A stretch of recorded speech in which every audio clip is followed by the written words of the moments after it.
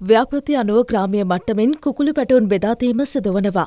Gampaha district වැඩසටහන ආරම්භ කෙරුණේ අමාත්‍ය නලින් ප්‍රාන්තු මහතාගේ ප්‍රධානත්වයෙනුවේ.